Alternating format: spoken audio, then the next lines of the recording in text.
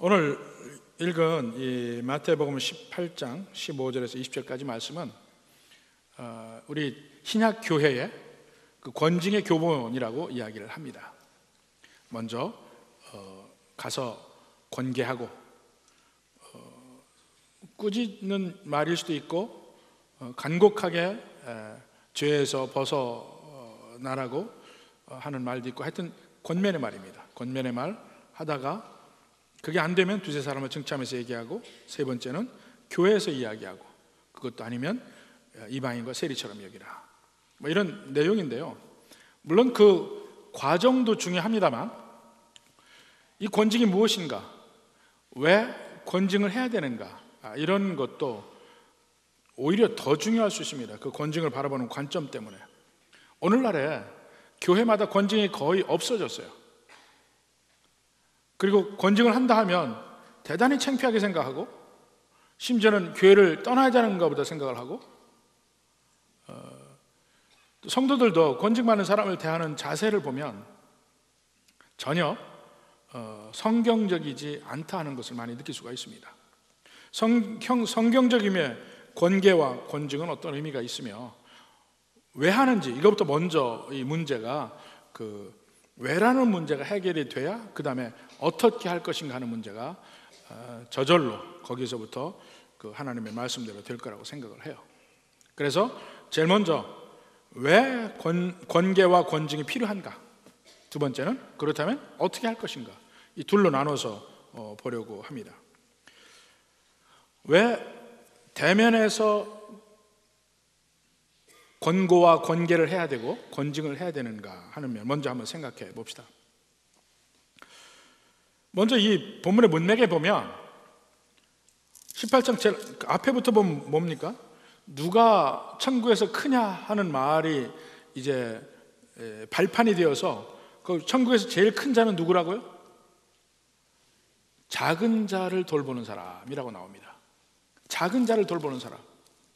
그래서 사실은 이 18장 전체의 문제가 작은 자에 관한 문제예요.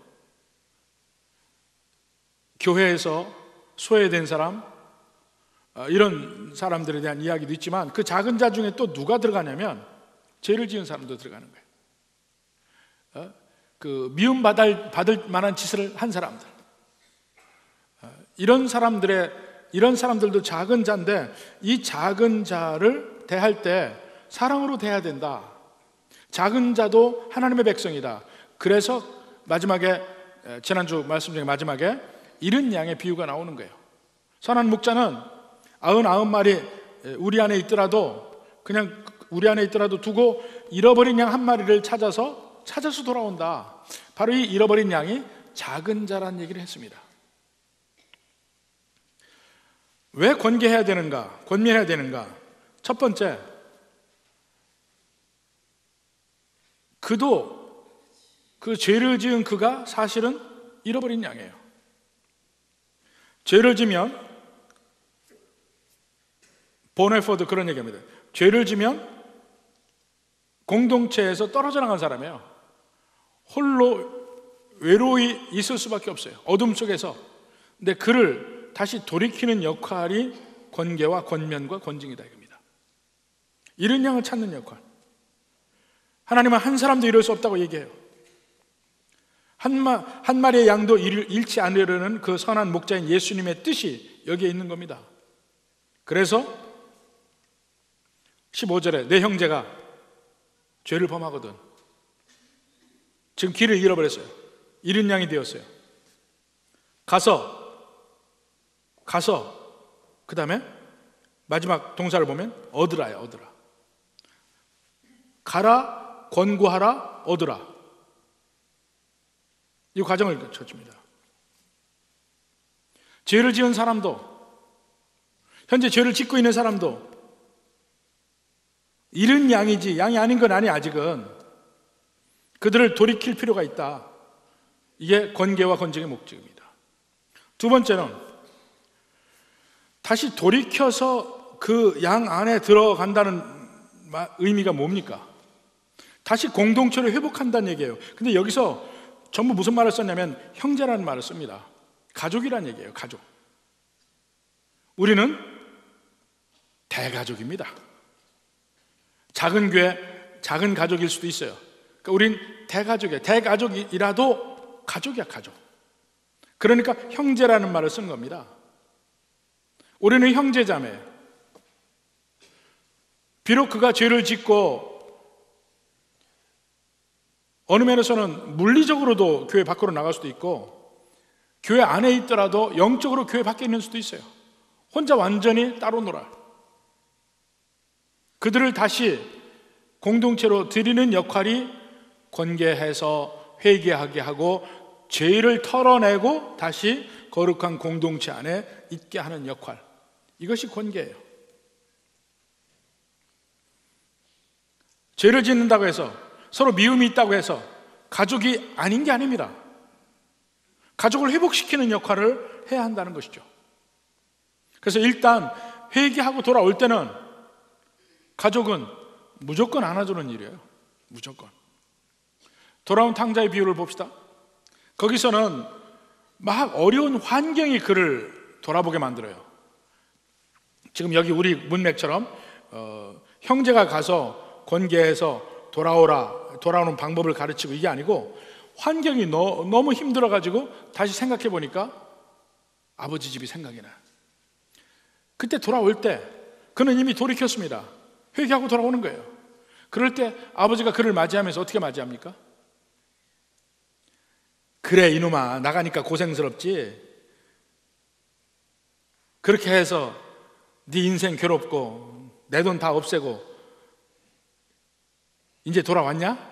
이렇게 얘기하는 게 아니라 이겁니다.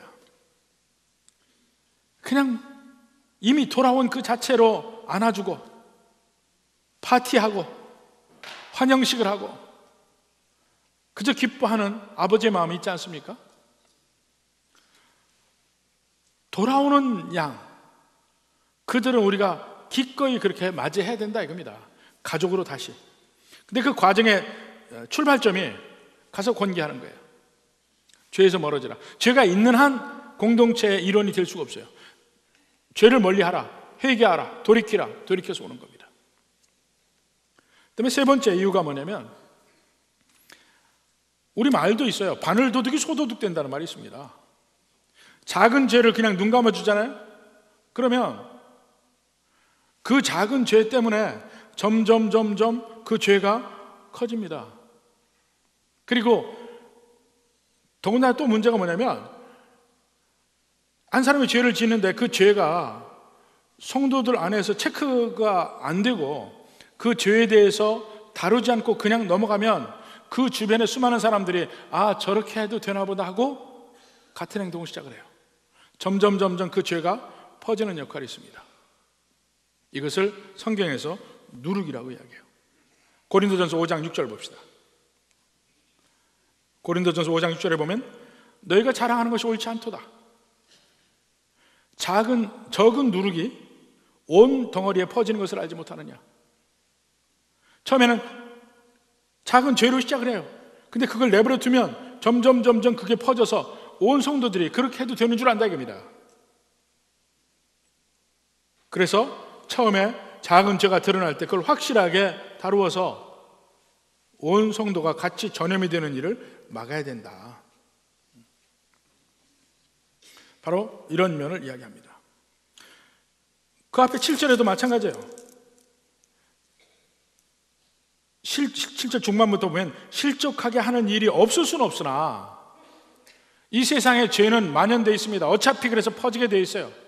그러나 교회는 그 교회, 저, 그 죄에 섞이면 안 된다, 겁니다. 마치 물고기가 바닷물 속에 있어서도 물고기 자신은 그 바닷물처럼 짜지지가 않아요. 교회가 이 세상 안에 있지만 교회가 세상의 죄로 물들어서는 안 되는데 그 마지막 물들지 않는 그 세포막의 역할을 하는 것이 권계이고 권징입니다. 그걸 막아주는 역할을 해요. 혹시 짜지면 그걸 못 짜지게 다시 회복시키는 역할이 권계와 권징입니다. 마지막 네 번째로 한 마리 양도 귀하다는 예수님 말씀대로 해야 되고 우리가 우리 가족을 회복한다는 의미에서 권징이 필요하고 세 번째는 바늘 도둑이 소도둑되기 때문에 또 누르개 역할을 해서 전파하는 전염력이 크기 때문에 이, 이게 내버려두면 안 된다는 것이고 마지막으로는 그저 한 가지 예수님의 명령이기 때문에 명령이기 때문에 지켜야 된다. 이것을 우리가 이해하려고도 더군다나 할 필요도 없다 이겁니다. 우리가 하나님의 명령은 그냥 일단 지키고 봐야 돼. 명령이니까. 예수님이 마지막에 제자들에게 대사명을 이야기할 때도 바로 그런 면을 이야기합니다. 마태복음 28장 19절 20절에 보면 그러므로 너희는 가서 모든 민족을 제자로 삼아 아버지와 아들과 성령 이름으로 세례를 베풀고 세례를 베푼다는 것은 교회 안으로 믿음의 공동체 안에 드리고 그 다음에 20절에 내가 너에게 분반 모든 것을 가르쳐 지키게 하라. 이거 이거 이것은 예수님의 명령이다. 그러므로 지켜라. 이렇게 한다는 것입니다. 교회의 사명은 예수님을 믿는 사람이 생길 때 그 사람으로 하여금 예수님의 말씀대로 행하며 살 수 있도록 가르쳐야 돼. 이건 이렇게 해야 되고 저거 저렇게 해야 돼. 아, 이건 예수님의 말씀이니까 지키자. 이렇게 되는 겁니다. 이 권징의 문제는 이른 양을 찾으시는 하나님, 그, 그걸 다시 한번 잘 생각해 볼 필요가 있습니다. 성경 전체를 보면 하나님께서 믿는 백성들을 사랑하신다고 하고 그 사랑의 표현 중에 하나가 권징이에요. 사랑의 여러 가지 표현이 있습니다. 젖과 꿀이 흐르는 그 가나안 땅을 주시는 것이 하나님의 사랑이에요. 이 세상 모든 악의 세력으로부터 보호하시는 것도 하나님의 사랑의 표현이에요. 또 하나는 우리를 우리 가운데 있는 악에서 우리 속에 있는 악에서부터 우리를 지키는 것도 하나님의 사랑이에요. 그게 권징이라고 말하고 있습니다. 그래서 마치 그것을 뭐로 표현하고 있냐면 하나님께서 왜 우리를 괴롭힘 속에 두는가? 자식이기 때문에 그렇다. 이렇게 얘기합니다. 하나님과 우리 관계가 아버지와 자식의 관계로 계속해서 표현되어 있으면서 자식을 권징하지 않는 아버지가 누가 있느냐. 이런 면으로 이야기를 합니다. 자언서 3장 11절. 내 아들아, 여호와의 징계를 경여기지 말라. 그 꾸지람을 싫어하지 말라. 그러니까 계속 제가 말씀드린 겁니다. 아버지가 옆집 아들을 꾸짖지 않아요. 공부 못한다고. 우리 집 애를 꾸짖어요. 우리 집 애가 잘못되면 그 잘못을 책임을 묻고 합니다. 옆집 애걸 하는 게 아니에요. 그런 면이 성경에 계속해서 나오는 겁니다. 히브리서 12장 5절부터 봅시다. 가장 많이 나, 명확하게 나온 대목이에요. 또 아들들에게 권하는 것 같이 너에게 권면하신 말씀도 잊었도다. 권면이라는 것은 꾸짖는다는 의미가 그 안에 들어가는 말입니다. 권면. 내 아들아, 주의 징계하심을 경히 여기지 말며 그에게 꾸지람을 받을 때에 낙심하지 말라. 꾸지람을 들으면 많은 사람들이 낙심을 합니다. 하나님이 나를 사랑하지 않나 보다. 근데 그건 아니에요. 오히려 사랑하니까 그렇다는 얘기예요. 사랑하니까. 오히려 사랑하는 사람을 6절에 보니까 주께서 그 사랑하시는 자를 징계하시고 그가 받아들이시는 아들마다 채찍질 하심이라. 와, 아들을 채찍질한대요. 세상에 아들을 채찍질하는 아버지가 어디 있습니까? 하나님 아버지가 그렇게 합니다. 잘 이해가 안 되는 대목인데. 오히려 우리의 모든 나쁜 습관, 그걸 다 없애서 성숙한 아들로 만들려는 하나님의 목적이 있죠. 사실 이렇게 보면 어, 우리 자녀 교육에서도 그렇고 우리 교회에서 신앙생활도 마찬가지입니다. 어, 보면 예수님 믿으면서 아무 문제 없이 재정적으로나 뭐 자녀적으로나 다 문제 없이 풍요롭게 풍성하게 사는 사람들이 있어요. 근데 그 사람들의 신앙은 그렇게 성숙하게 보이진 않아요. 성공했다 고 느끼긴 하는데 성숙한 신앙은 아닙니다. 우리 예수님 믿으면서 일이 깨지고 저리 깨지고 재정적으로도 힘들어지고 애들도 문제를 만들고 온갖 일을 지나고 지나고 난 뒤에 그 어, 지금 이 앞에 있는 성도 그 사람에게는 성숙함이 보입니다. 근데 하나님이 누구를 더 사랑하신 것처럼 보이느냐? 바로 두 번째 사람이라 이거예요. 우리는 너무나도 많은 경우에 하나님 내게 문제 없게 해주십시오. 그저 모든 게 잘 되고 편안하고 아무 문제 없는 삶을 살기를 원합니다. 그게 우리가 바라는 거예요. 근데 하나님이 우리 삶에서 바라시는 것은 그게 아닙니다.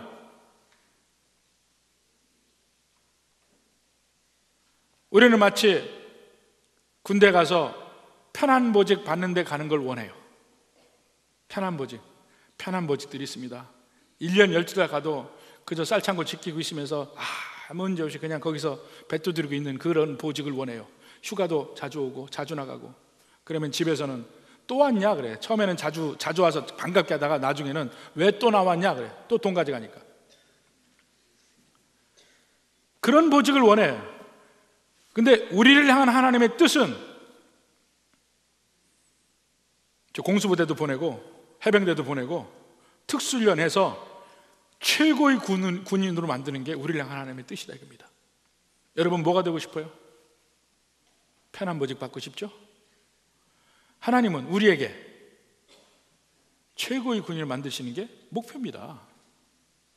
그게 서로 틀린 거예요. 어렵고 힘들 때 정말 힘듭니다. 그러나 그것을 지나고 나면 우리의 신앙이 한 단계씩 한 단계씩 커가는 걸 알 수가 있어요. 환란요? 하나님이 진짜 사랑하시는 사람에게는 환란이 없을 수가 없습니다. 잘못을 안 해도 환란이 없을 수가 없어요. 그런데 잘못을 했다면 어떻게 했어요? 더더군다나 바로 하나님이 그 일을 다루시고 돌이키게 하시고 다시 거룩함 속에 확실하게 있게 만드시는 겁니다. 그게 권계요, 권징이에요. 그게 여기서 말하는 채찍질이고 7절에 봅시다. 너희가 참음은 징계를 받기 위함이라 하나님이 아들과 같이 너희를 대화하시나니 어찌 아버지가 징계하지 않은 아들이 있으리요 우리의 신앙생활과는 정반대의 말이 계속 나옵니다 내가 하나님의 자녀인데 다른 사람보다 나를 더 편하게 해주셔야죠 하나님은 그게 아니죠 너는 내 아들이니까 다른 사람보다 더 훈련을 많이 받아야 된다 이 말이 확실하게 여러분 마음속에 접수가 됐으면 좋겠습니다. 8절에 더 확실한 말합니다. 징계는 다 받는 것이거늘 너희에게 없으면 사생자요 친아들이 아니니라. 여러분 하나님 앞에 친아들입니까? 사생자입니까? 친아들이 되고 싶긴 해요. 겁은 나는데. 친아들이 되고 싶긴 해. 근데 제 개인으로 봐서 지난 목회 생활을 쭉 보니까 바람 잘 날이 없었어요. 제가 생각해 보니까. 뭐, 어, 우리 교회 지난 7년간의 일이 사실은 여기만 있었던 게 아니에요. 전 미국에서도 그 경험했어요. 미국에서 작게 경험했어요. 그래서 제가 하나님께 한참 어려울 때는 원망스럽게 이야기하죠. 하나님, 다른 사람은 아무 문제 없이 목회도 잘하더만. 왜 나는 이렇게 온갖 일을 이렇게 당하게 해서 이렇게 힘듭니까? 근데 이거 다 지나고 나니까요. 모든 목사님들 앞에서 누구 앞에서도 제가 당당해요. 왜 당당하냐? 당신 나 같은 거 당해봤어? 나 같은 일 당해봤냐고 얘기할 수 있어요. 지나니까 하는 얘기야. 그 일이 있을 때는 힘들지만. 근데 뒤돌아서 생각해 보니까 강력한 연단이 내게 얼마나 복이었는지를 나중에 이해해요, 사실은. 이 히브리서 12장 말씀 보통 와 닿진 않아요. 내가 한참 어려울 때는. 근데 어려움이 지나고 나면 아, 그렇구나. 하나님이 나를 얼마나 사랑하셔서 그랬는지를 비로소 이해하기 시작합니다. 어려움이 끝나지 않더라도 어려움이 좀 오래되다 보면 중간에 변화된 나를 보면서 이해하기 시작해. 하나님이 나의 이런 연약한 면, 부족한 면도 털어내려고 이런 이런 훈련도 하셨구나. 이런 환란도 견디게 하셨구나. 이렇게 생각이 됩니다. 더더군다나 잘못이 있으면 꾸지람을 들어야 되죠. 더더군다나 친아들이니까 제일 마지막 11절에 한번 봅시다. 히브리서 12장 11절. 무릇 징계가 당시에는 즐거워 보이지 않고 슬퍼 보이나. 맞아요. 누구나 다 마찬가지야. 한참 어려울 때는 즐거워 보이지 않고 슬퍼 보이나 후에 그로 말미암아 연단 받은 자들은 의와 평강의 열매를 맺느니라. 오림이 무엇인지 알고 평강의 열매. 마음이 정말 하나님이 나를 환란 중에도 사랑하신다는 그 사실을 깨달으면요 겁날 게 없습니다. 겁나지 않아요. 마음이 편안해져요. 어떤 일이 있어도 관계가 없어요. 여러분이 잘못할 때 누군가 와서 여러분에게 이러이러한 잘못을 하나님께서 기뻐하지 않습니다. 돌이키십시오 하고 이야기를 하면 하나님의 사랑이 내게 온 줄 아십시오. 하나님이 사랑으로 그 사람을 통해서 나를 방문하신 줄 아십시오. 그래서 이 권계와 권면은 하나님이 사랑하는 자녀들에게 꼭 필요한 겁니다. 잃지 않기 위한 하나님의 사랑의 노력입니다. 그래서 권계와 권면, 또 마지막 권징까지가 꼭 필요하다는 얘기입니다. 그럼 크게 두 번째로, 그러면 어떻게 권징을 할 것인가? 그 방법도 우리 주님이 자세히 이야기합니다. 전부 단계는 세 단계예요.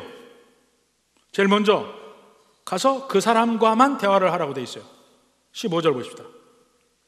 내 형제가 죄를 범하거든 가서 가서 이 중요합니다. 가서 너와 그 사람과만 상대하여 은밀하라는 얘기 처음에는 왜냐하면 죄가 드러나는 것은 사람들이 아주 싫어합니다. 창피해하고 그래서 심지어 죄가 드러날 때 강력하게 부인하기도 합니다. 그래서 그 사람과만 상대하여 권고하라. 만일 들이면 내가 내 형제를 얻은 것이다.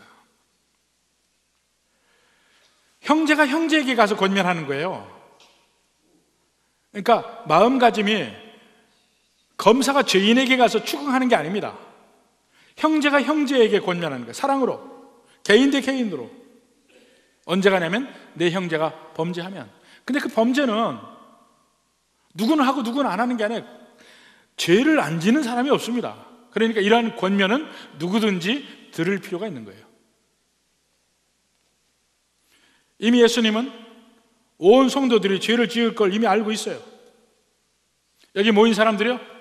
다 죄인입니다. 조금 차이가 있다면 어제 죄를 지은 죄인 여기 있고 1년 전에 죄를 지은 죄인 여기 앉아 있을 것이고 죄에서 어찌하든지 벗어나려고 노력하고 있는 현재 진행형 죄인들이 있을 겁니다. 그런 식으로 죄인의 차이는 있을지 몰라도 여기 있는 사람이 전부 다 죄인인 것은 맞아요. 그럴 때, 그럴 때, 우리가 서로가 서로에게 가서, 가서, 기다리는 게 아니에요. 이게 탕자의 비유하고 좀 다른 면입니다. 기다리는 게 아니에요. 가서 이미 우리 형제 안에 있을 때 많은 사람들이 서로 관계에서 문제가 생길 때 최소한으로 이렇게 얘기합니다. 그가 와서 내게 용서를 빌면 내가 용서하리라. 이런 마음가짐을 가지고 있어요. 근데 그렇게 와서 용서를 빌고 용서하는 일은 평생 가도 이루어지지 않아요. 기다리고 있어요? 아무리 기다려봐 되나 그게? 그냥 안 보기는 그렇고 보기는 보는데 마음속은 이미 다친 마음, 차가운 마음으로 그냥 가요. 무관심해. 아니면 심지어는 은근히 복수를 해. 똑같이 갚아줘. 상대편이 이렇게 하면 나도 이렇게 해. 이렇게 갈고리를 걸면 나도 이렇게 갈고리를 걸어. 그러면서 서로 아닌 척해. 여기선 그 얘기 하는 게 아닙니다. 가서 그거 확실하게 대면하는 거야. 이러이러한 잘못이 이거는 안 됩니다. 가서 그에게 권면하라 이야기합니다. 권고하라고 그랬죠, 여기는. 권고하라. 권면하라. 사실은 이 대면하라는 말이 상당히 예, 그 우리말에 맞는 말인데 잘 쓰는 쓰는 말은 아닙니다. 이게 대면하라는 말은 사실은 어, 우리 말에 원래 의미가 있는 게 아닌 것 같아요. 영어로 confrontation이라는 말이 있어요. confront, confrontation 하는 말이 있는데 이 말은 서로 맞서서 서로 보라는 얘기거든요. 상대편에게 어, 그냥 마주 앉아 있는 그런 정도가 아닙니다. 상대편의 뜻을 아니라고 강하게 부딪히라는 말이 포함되어 있는 말이에요. 그게 우리말로 대면하라고 하는 말이에요. 그냥 얼굴을 본다는 의미가 아닙니다. 컨프런테이션 하라는 얘기예요. 여기 권고하라는 말이 바로 그겁니다. 마주 앉아서 그게 아닙니다 하고 확실하게 반대 의견을 이야기하라는 얘기예요. 반대 의견을. 근데 이 반대 의견을 이야기할 때 과연 어떤 방법을 할 것인가? 사랑으로 얘기해야 돼요. 근데 사랑으로 이야기하는 방법도 방법론에서는 크게 두 가지가 있습니다. 하나는 부드럽게 권한을 수도 있고 또 하나는 매섭게 이야기할 수도 있어요. 과연 어느 쪽으로 이야기해야 될까요? 정답은 그때그때 달라요. 그때그때 달라요. 성경도 보면 그래요. 나단 선지자가 다윗을 꾸짖을 때, 양 아흔아홉 마리 있는 부자가 한 마리 있는 사람에게 그 한마디를 뺐을 때 어떻게 합니까? 누가 그러느냐? 다윗이 화를 냅니다. 그때 마지막에 결정타를 날려요, 나단이. 당신이 바로 그 사람이라. 매섭게 이야기한 거예요. 성경에도 그렇게 나옵니다. 매섭게 이야기해요. 신약에도 그런 말이 나옵니다. 디도서 1장 13절 봅시다. 이 증언이 참되다. 그러므로 내가 그들을 엄히 꾸짖으라. 매섭게 이야기하죠? 엄히 꾸짖으라. 꾸짖을 때가 있습니다. 꾸짖어야 될 때가 있어요. 이는 그들로 하여금 믿음을 온전하게 하고 그들의 믿음을 온전하게 하기 위해서 꾸짖을 때는 엄히 꾸짖을 필요가 있다는 거예요. 갈라디아서 2장 11절에 봅시다. 게바가 게바는 베드로의 베드로의 원 이름이죠. 게바가 안디옥에 이르렀을 때에 책망 받을 일이 있기로 이 안디옥은 수리아 안디옥입니다. 내가 그를 대면하여 책망하였노라. 이게 대면이란 말이 바로 이 confrontation 한다는 거예요. 상대편을 부딪혀서 책망하였노라. 예루살렘에서 높은 사람들이 안디옥 교회로 오니까 순찰하러 왔습니다. 베드로가 이방인들과 이방인 그리스도인과 같이 식사하다가 아이고 그들이 나를 할까 도망갑니다. 같은 유대인들도 같이 따라 도망가고 바나바도 들썩들썩합니다. 그랬을 때 여러 사람 앞에서 바울이 베드로를 꾸짖습니다. 대면하여 꾸짖다. 강하게 상대편에게 모욕감 느끼게 창피를 준 겁니다.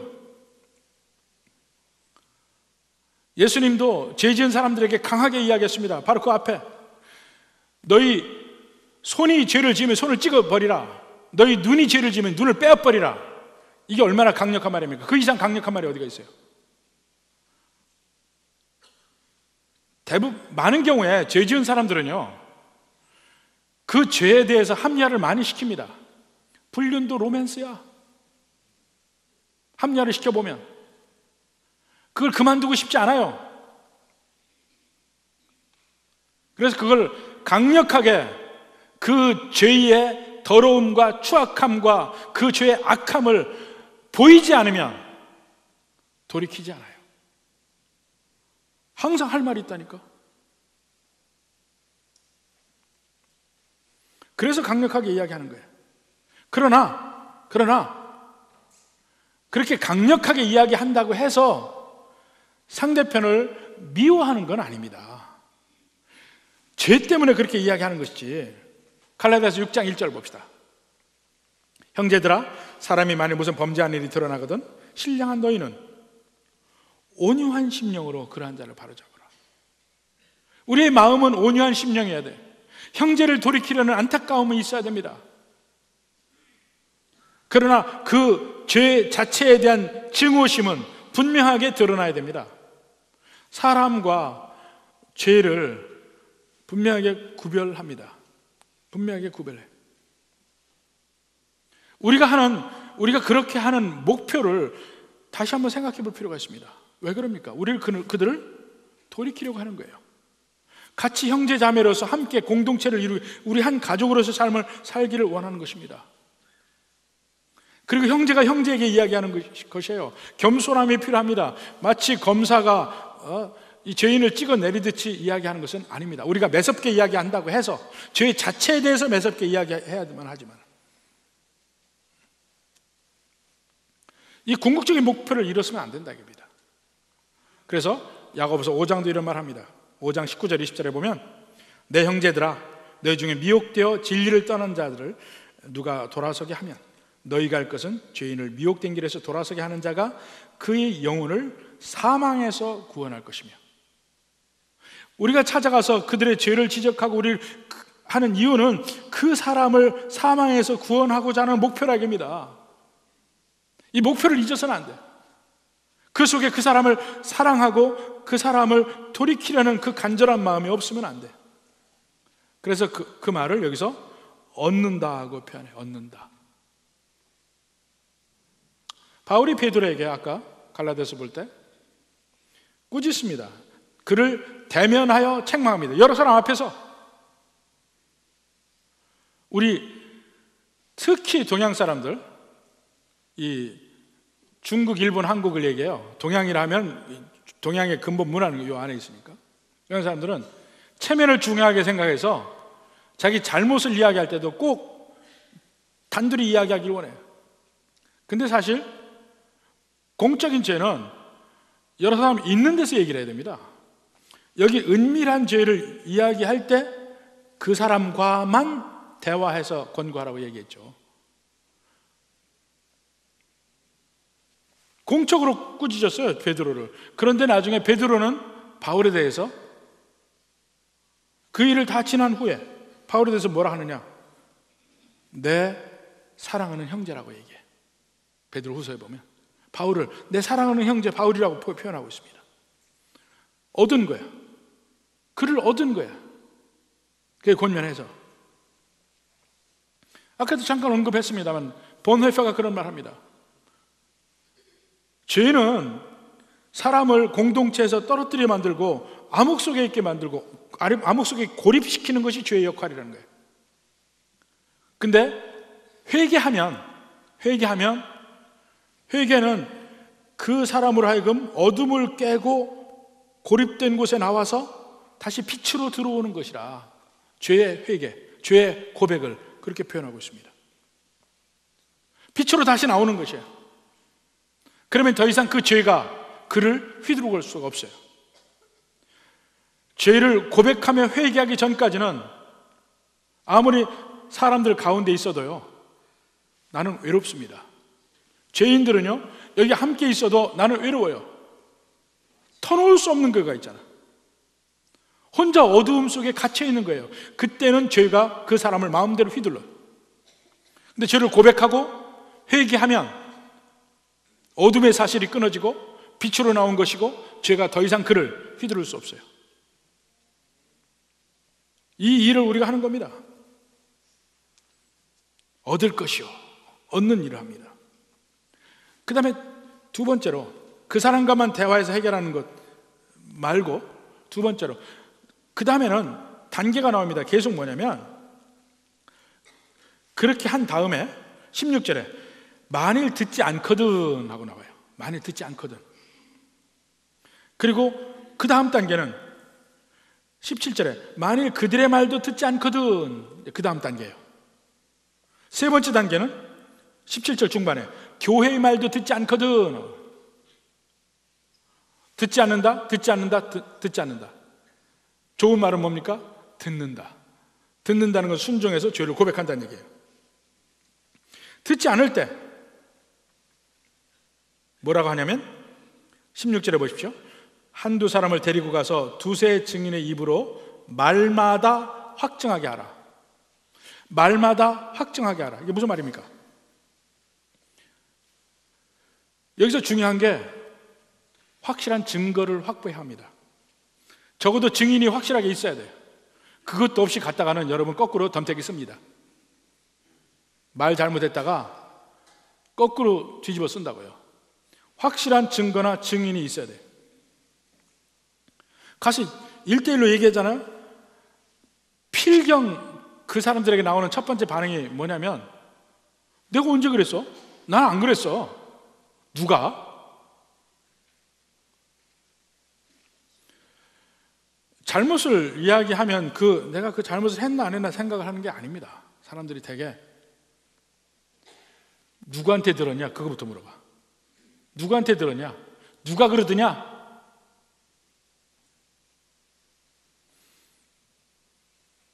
저도 어쩌다 어쩌다 한 번씩 이 잘못한 일에 대해서 지적하고 얘기합니다. 꼭 나오는 반응이 누구한테 들었어요?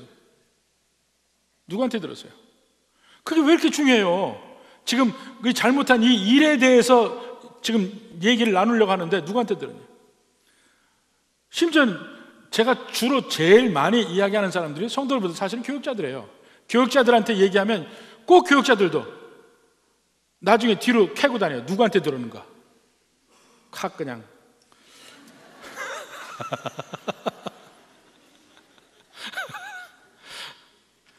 본질이 그게 아니잖아요.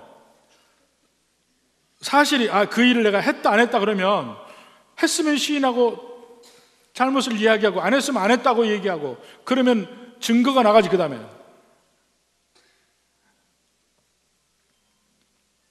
누가 그랬냐 아무것도 중요하지 않습니다. 내가 그걸 했냐 안 했냐가 더 중요한 것이지. 증거가 있어야 돼요. 그래서 성경에도 계속 그 증인에 관한 이야기를 하는 것이 바로 그 이유입니다. 신명기 19장 15절에 보면 그래요. 사람의 모든 악에 관하여 또한 모든 죄에 관하여는 한 증인으로만 정할 것이 아니요 두 증인의 입으로나 또는 세 증인의 입으로 두세 증인 적어도 두 증인이 필요해요. 왜냐하면 한 증인은 모함할 수 있는 가능성도 굉장히 많아요. 모함할 수 있어요. 그리고 그 한 증인이면 한 사람의 안목이기 때문에 오해하고 증인이 될 수도 있어요. 오해할 수 있습니다. 내가 우리가 보는 것이 전부가 아니거든요. 그 묘한 상황을 보면 오해할 가능성이 굉장히 많은 것들이 많아요. 저도 그래서 그런 오해를 많이 받아봤습니다. 그러니까 두세 증인이 필요해요. 한 사람의 증인이면 잘못하면 죄도 오해할 수 있지만 죄가 과장될 수도 있어요. 과장될 수 있어요. 요만큼인데 요만큼이라고 이야기할 수 있어. 근데 옆에 증인이 아 그건 아니야. 요만큼이야 하고 이야기할 수 있다 이겁니다. 정확하게 하기 위해서 두세 증인이 필요하고 그리고 한두 사람이 이야기하면 또 못 당하는 수도 있어요. 상대편에게. 근데 여러 사람이 이야기하면 바른 책망이면은 확실하게 상대편에게 각인시켜 줄 수 있습니다. 힘을 보태기 위해서는 여러 사람이 필요해요. 한 사람 가지고 안 되면 두세 사람이 필요해. 그리고 이렇게 될 때 거기서도 안 되면 이제 교회로 가잖아요. 그때 증인의 역할이 필요해요. 한 사람의 증인 가지고는 안 돼요. 이 사람들이 다 증인이 돼야 되니까. 저도 교회 일을 처리할 때 중요한 일이면은 중요한 일은 절대로 일대일로안 합니다. 중요한 일은 반드시 배석자를 안 칩니다. 이, 게 너무 중요해요. 왜냐하면 저하고 단둘이 이야기하자. 그 단둘이 이야기하면요. 어떤 건 단둘이 이야기할 것이 있죠. 그렇지만 이렇게 갈등 구조가 서로 마음이 합해서 이야기할 때는 단둘이 이야기해도 되는데 갈등 구조에 대해서 이야기할 때는 반드시 객관적인 사람이 필요해요. 왜냐하면 저는 여러 번 단둘이 그렇게 이야기하다가 나중에 끝나고 나면 정반대 이야기를 밖에서 하는 걸 제가 많이, 많이 경험을 했습니다. 여러분 알지만 제가 목소리가 커요. 목소리 크잖아요? 그리고 뭔가 이슈에 들어가면 목소리가 커져. 나는 그 모르고 그 이슈 자체에 집중해서 이야기를 해요. 그럼 꼭 나중에 뒤에 나오는 소리가 목사님이 화냈다고 그래. 다 화냈다 그래요. 그게 자기에게 유리한 거야. 무조건 화냈다 그래. 화 안 냈어요. 목소리가 클 뿐이에요. 그래서 옆에 누군가가 있어야 돼. 저도 질문을 해야 됩니다. 제가 제가 목소리가 너무 컸습니까? 화낸 걸로 상대편이 받아들일까요? 적어도 나는 화가 안 냈는데 그렇다면 나는 그, 거기서 목소리 조정해야죠. 그래서 그 사람이 필요해요. 또 다른 면 제가 그분을 잘못 볼 수 있잖아요. 얘기할 때 제가 그분이 표현한 걸 제가 오해할 수 있어요. 옆에 사람이 있으면 나는 이렇게 느꼈는데 어떻게 느꼈습니까? 아, 그건 목사님이 잘못 생각하신 겁니다. 오해입니다. 아, 그래요? 저를 고쳐줄 수도 있어요. 필요해요. 그분이 잘못 본 것도 객관적으로 얘기해 줄 수 있고, 내가 잘못 본 것도 객관적으로 얘기해 줄 수 있고, 그리고 증인으로도 필요하고. 이러한 일 때문에 꼭 중요한 일에 갈등적인 면을 이야기할 때는 꼭 배석을 시킵니다. 그래야 뒤가 없어요. 깨끗하게 일이 거기서 마무리할 수 있습니다. 저도 객관적이 되고 그 사람도 객관적이 될 수가 있고 어, 이런 게 필요합니다. 근데 안 되는 게 있어요. 안 되는 거. 부부싸움 할 때. 그건 나도 나도 어떻게 할 수가 없어요. 그러니까 여러분들 그 알아서 해야 돼. 다른 일은 전부 증인이 있어야 됩니다. 증인이. 이때 한 사람을 놓고 여럿이 이야기할 때 정말 유의해야 될 점은 상대편을 죄인 취급은 하지 마라. 죄인 취급은. 아직까지 모든 것이 그 사람이 시인하기 전까지는 죄인이 아니에요. 죄인이 아니라고 봐줘야 돼. 시인하기 전까지는. 그래서 증거를 확보하는 게 필요합니다. 그러나 기본적인 전제는 우리가 형제 대 형제로 이야기하는 거예요. 검사 대 피의자의 검사 대 죄인의 관계가 아닙니다. 그냥 형제 대 형제로 이야기하는 거. 그걸 잊지 말자 이겁니다. 그때도 안 들으면 이제 교회에서 이야기하는데 여기서 교회는 본질적으로 당회를 이야기합니다. 당회. 교회의 모든 법적인 문제, 또 권징의 문제를 다루는 것은 당회의 권한입니다. 당회의 제일 큰 권한이 바로 이 권징의 문제예요. 사실은 재정의 문제는 아니에요. 재정의 문제는 재직회의 권한입니다. 더 큰 문제, 교인들의 영적 생활을 담당하는 것이 당회고 특히 권징의 문제는 당회입니다. 당에서 재판을 해요. 듣지 않거든 듣지 않거든. 세 번째로 교회에서 이야기합니다. 교회의 말도 듣지 않거든 그 다음에는 이방인과 세리로처럼 여기라 그랬습니다. 마지막에 하는 게 뭐냐면 교회에서 하는 것은 출교예요, 출교. 제명 출교. 이게 이제 어, 교회 안에 물론 어, 수찬 정지, 성찬 참여하지 못하는 그러한 권증을 할 수도 있고 뭐 여러 가지 할 수 있지만 마지막에 그런 출교입니다. 이것은 여러 사람 이 교회가 교회 안에 모든 모임에서 그를 배제시키는 거예요. 그게 출교입니다. 예배도 그렇고 성찬도 그렇고 기도에도 그렇고 모든 면에 교회적 모임에 그를 어, 참석을 불허하는 것이 출교인데 다른 한 가지 문제가 있습니다. 그러면 출교를 할 때 개인적인 관계도 다 끊어야 되는가? 뭐 그 사람이 집에 식사하자고 초대할 때 가도 되는가? 아니면 만났을 때 서로 말을 섞어도 되는가? 인사해도 되는가?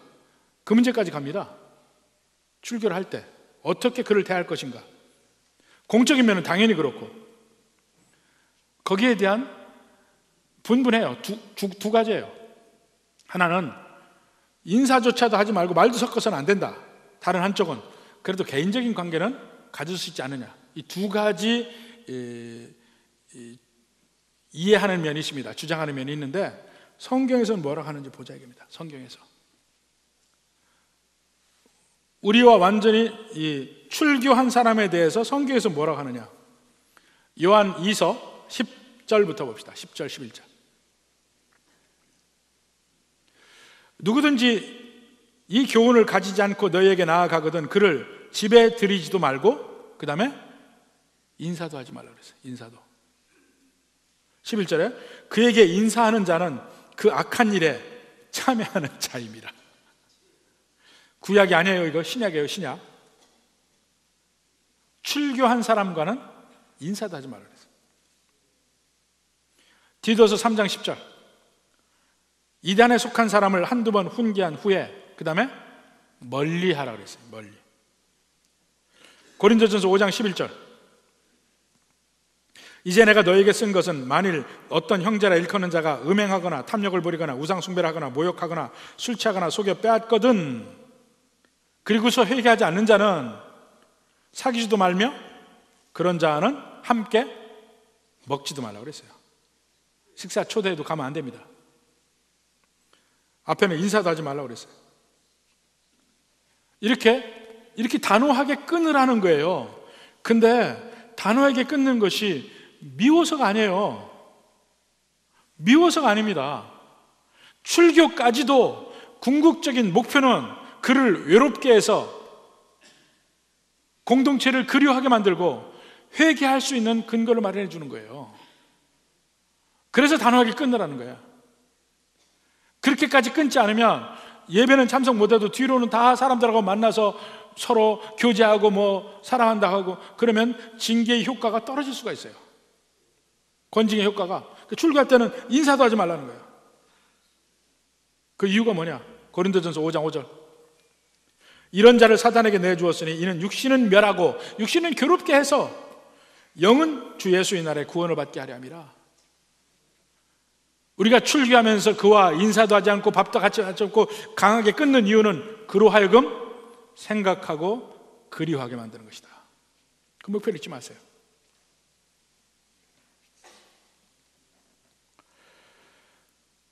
그를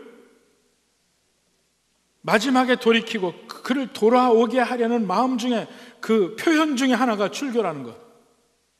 그거 잊지 마십시오.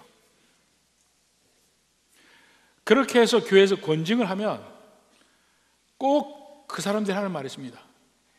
너희가 무슨 권리로 나를 판단하냐? 너네가 하나님이냐? 마지막 죄를 죄를 어, 심판할 분은 하나님밖에 없는데 왜 인간이 너희들이 나를 이렇게 하느냐? 이렇게 말할 수가 있단 말입니다. 그 말에 대해서도 예수님은 반박을 해놨습니다. 그것이 18절, 19절, 20절이에요. 18절 먼저 봅시다. 진실로 너에게 이르노니 무엇이든지 너희가 너희가란 말은 교회란 말이에요. 복수죠. 교회요. 너희가 땅에서 매면 하늘에서 매일 것이요 무엇이든지 땅에서도 풀면 하늘에서도 풀리리라. 땅에서 건징을 해서 출교하면 하늘에서도 출교라는 거예요. 땅에서 아, 이 사람 회개했으니까 용서한다. 그러면 하늘에서도 용서한다는 뜻이 떨어진다 이거예요. 하늘의 뜻과 교회의 뜻이 같다 이겁니다. 무슨 권세로라는 말 하지 말아야 됩니다. 그러면서 더 나아가서 19절, 20절 말씀하십니다. 진실로 다시 너에게로 오네 너희 중에 두 사람이 땅에서 합심하여 무엇이든지 구하면 교회의 예배를 얘기해요. 하늘에 계신 내 아버지께서 그들을 위하여 이루시라. 두세 사람이 내 이름으로 모인 곳에는 나도 그들 중에 있느니라. 교회의 가장 작은 단위가 두세 사람이에요. 근데 유대인들은 남자 10명이 있어야 공식적으로 예배가 형성이 돼요. 남자 10명. 근데 예수님 안에서는 두 명만 있어도 돼. 남자, 여자 구별도 안 해요. 두 명만 있으면 돼. 어디든지 믿는 자를 모여, 모여서 예배 드리는 그곳에 하나님이 계시고 그 권위를 인정한다는 얘기예요. 교회의 권징에 대해서 인정하는 말입니다. 하나님이 인정하신 거예요. 교회는 거룩해야 합니다. 교회는 거룩해야 합니다. 그리고 그 거룩한 공동체가 가장 이 세상에 빛을 발하고 거룩한 공동체가 서로 가장 사랑하는 그러한 공동체가 될 수가 있어요. 이 가운데 죄가, 죄가 있으면 죄는 누룩처럼 번져서 공동체를 썩게 만들고 빛을 비추지 못해, 못하게 만들고 서로 사랑하지 못하게 만드는 거예요. 이것을 해결해서 더 이상 누룩이 퍼지지 않게 하고 거기 있는 마지막 형제까지도 마침내 다시 공동체로 돌이키는 그 기능이 권고하고 권계하고 권정하는 겁니다. 이 진정한 목표가 진정한 목적이 바로 서게 되면 우리는 건강한 교회 될 수 있습니다. 바르게 권계하고 바르게 권징할 수 있습니다. 바로 이러한 본질적인 목표를 온전히 회복할 수 있는 우리 교회가 되기를 주님의 이름으로 축원합니다.